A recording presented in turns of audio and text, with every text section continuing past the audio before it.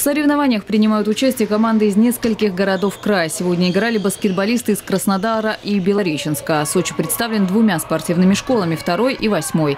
Открытый турнир по баскетболу проводится ежегодно. В нем участвуют 14 и 15-летние подростки. В этом году баскетбольные матчи проходят на базе 20-й школы. За игрой спортсменов сегодня следил пятикратный чемпион России Захар Пашутин. Он считает, что такие фильмы, как «Движение вверх», привлекут еще больше ребят в спортивные залы. Это очень хороший фильм. И опять же, у меня много спрашивали в Москве про, про этот фильм. И я могу сказать, что я знал этих людей лично. И, и тренера Владимира Петровича Кондрашина, и Беловых, двух игроков.